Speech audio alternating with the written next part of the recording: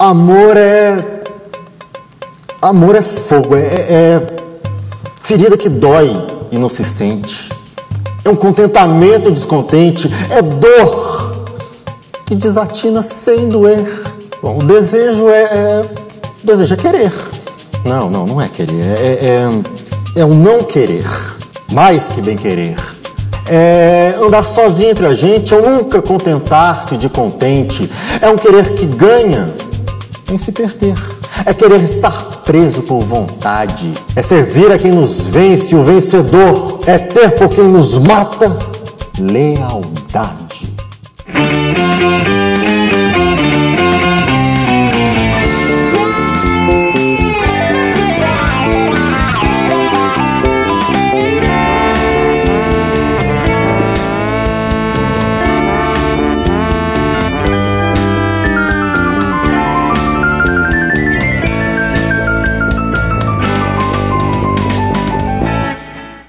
Como vocês puderam perceber, o nosso programa de hoje está em clima de amor e de desejo.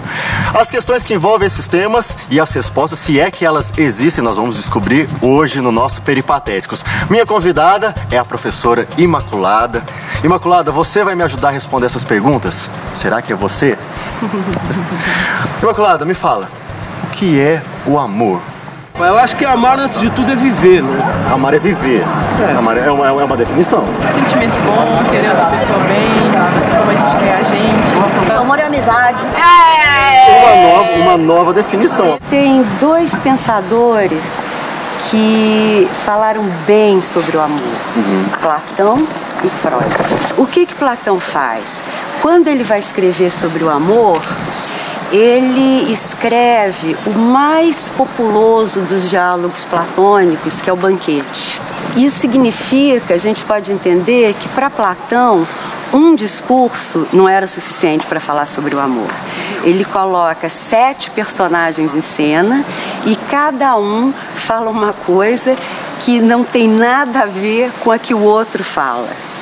Agora, uma coisa curiosa é que Freud, quando vai dizer que nós temos duas pulsões, a de viver e a de destruição, uma delas é o amor e a primeira inspiração foi num discurso de Platão. Então Platão inventa um mito, Platão que era contra os mitos, né? Que o amor surge, aparece, né? No dia em que é dado um banquete e nesse banquete Pênia, que era a mais miserável das mulheres, era uma mendiga nas ruas de Atenas, ela embriaga Poros, que é o símbolo da fartura, da, do absoluto quase, né? de, toda, das, de todas as possibilidades. E se deita do lado dele, eles transam e aí nasce Eros, que é o amor.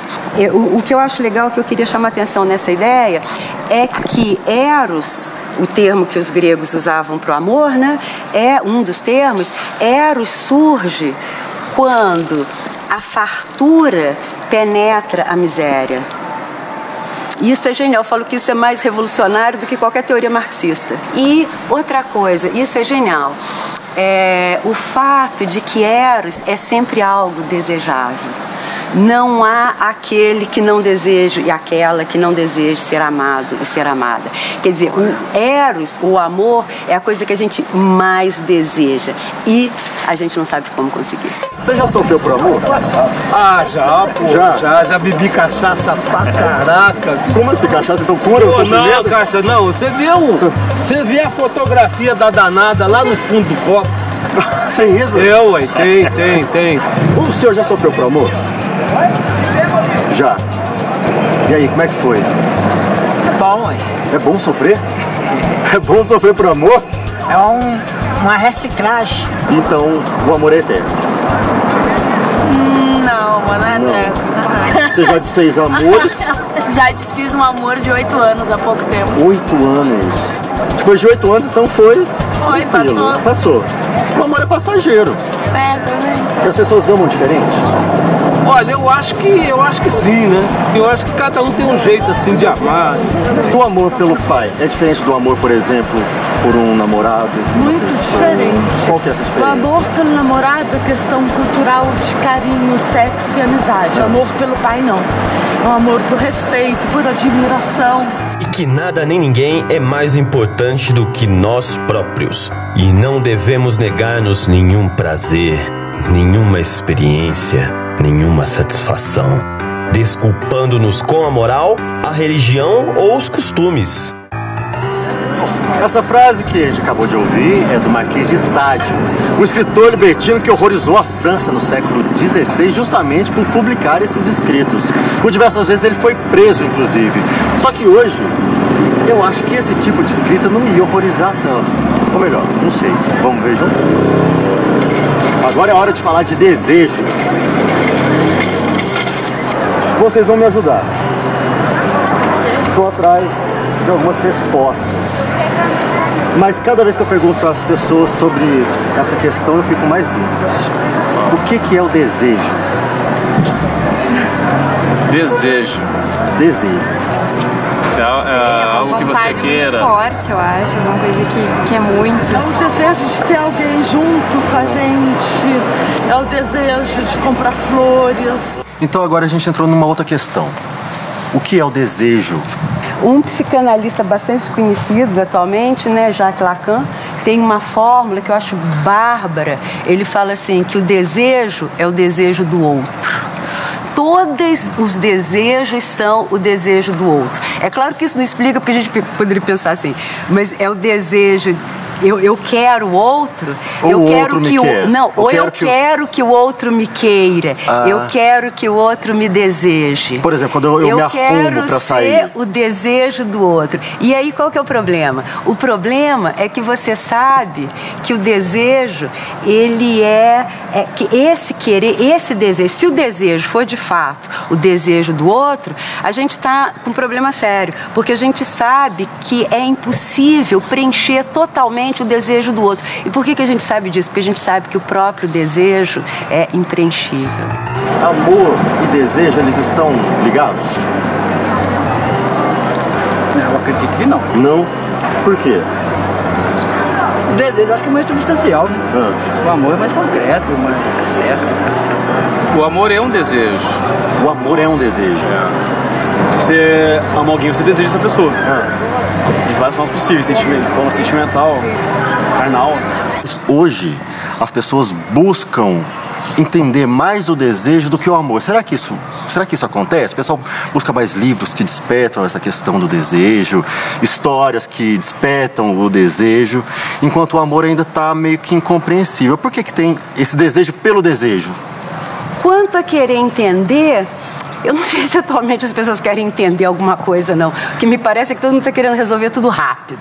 Quer sentir. Percebe? É, quer o desejo, então vamos lá, vamos resolver esse desejo aqui e da forma menos dolorosa, mais rápida possível. E sem ah, a necessidade ou sem o desejo de uma reflexão maior, né? Você já ouviu falar desses livros aqui?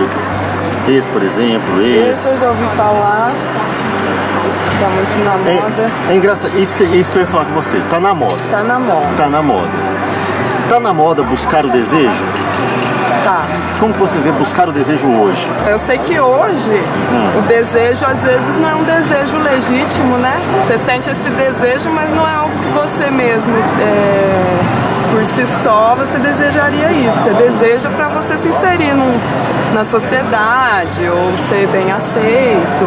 Pra gente ser bem aceito hoje depende dos nossos É, desejos. e esses desejos vão ser desejos que às vezes não são desejos legítimos nesse sentido. Entendi, a gente são foge. do, do geral, né? Então o desejo é do outro. É, o desejo ser bem visto. Bom, como vimos nas ruas, o amor tá dando o que falar. E é por isso que a gente convidou um especialista para tentar desvendar um pouco mais essas peripécias do amor aqui no nosso estúdio. Então vamos lá, professor José Luiz Furtado, responda pra gente o que é o amor. O amor é uma, uma escolha ah, injustificada e absoluta. Quando uh, nós descobrimos que o, o amor é, acabou ou, ou não era autêntico, é justamente quando você consegue justificar.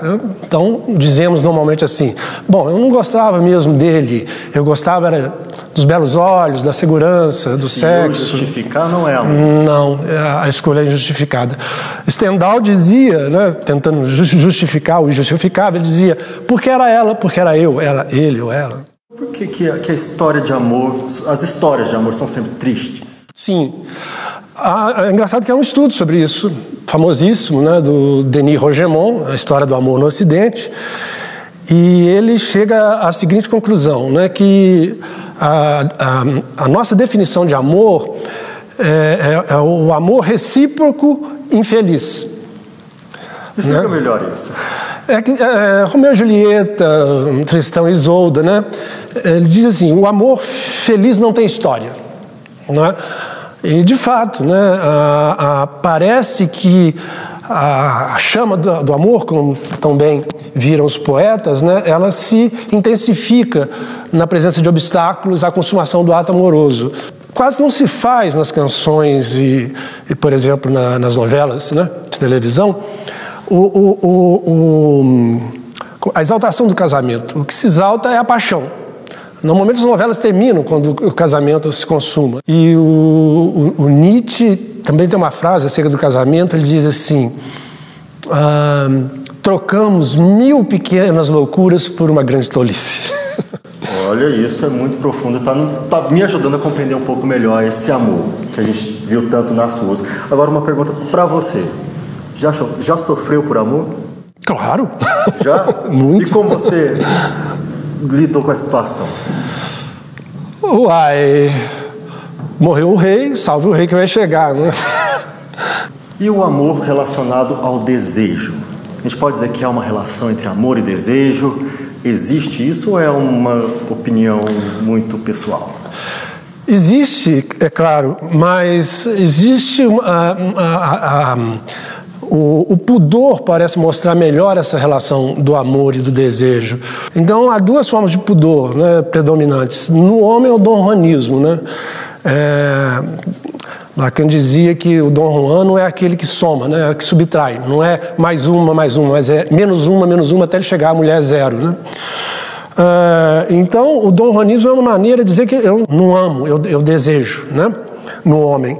E na mulher é dizer que não deseja, que deseja porque ama, que a escolha amorosa ela antecederia o desejo, que também é uma forma de pudor.